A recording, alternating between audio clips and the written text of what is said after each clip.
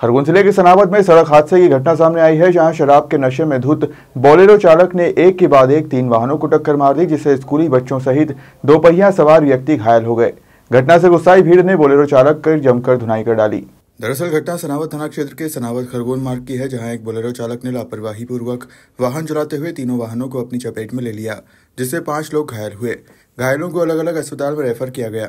Magic चालक फिरोज चौहान ने बताया कि वह प्रतिदिन की तरह स्कूल के बच्चों को छोड़ने ग्राम छोटी आली जा रहे थे, तभी रेवा गुर्जर कॉलेज के पास तेज गति से बोलेरो वाहन तेज गति से मैजिक वाहन से टकराया। उसके बाद पीछे से आ रही स्विफ्ट गाड़ी को भी अपनी चपेट में ले लिया। इस दौरान बोलेरो ने दोनों वाहनों को टक्कर मारते हुए दो पहिया को अपनी चपेट में लेते हुए बोलेरो पलट गया। स्कूल वाहन में दो बच्चे सवार थे, जिनका निजी अस्पताल में उपचार किया गया। वहीं दो पहिया पर सवार घायलों को सिविल अस्पताल लेकर आए। बताया जा रहा है कि बोलेरो चालक एवं उसके साथ में बैठे हुए युवक शराब के नशे में धुत थे जो घुघरिया खेड़ी से ओंकारेश्वर जा रहे थे। वहीं घटना से गुस्साई भीड़ ने बोलेरो चालक की जमकर धुनाई कर दी। वहीं मौके पर पहुँची पुलिस ने बोलेरो चालक जगदीश यादव को हिरासत में ले लिया।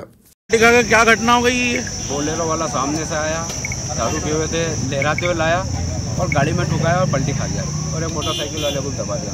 तुम्हारी गाड़ी में भी टक्कर मारी? हाँ मेरी गाड़ी पहले ठुकाया फिर एक मोटरसाइकिल में ठुकाया और एक कार में भी ठुकाया। तो पलटी खा गया कहाँ से आ रही थी गाड़ी ये वाली। खरगोन तरफ़ से आ रही थी और अब मैं इधर से सनौर तरफ़ से चल कोई बैठा हुआ था उसमें? हुँ? गाड़ी में कोई बैठा हुआ था? वो पाँच छः सवारी बैठी थी। बोले एक मोटरसाइकिल वाले को दबा दिया। दो मोटरसाइकिल वाले थे उनको दबाया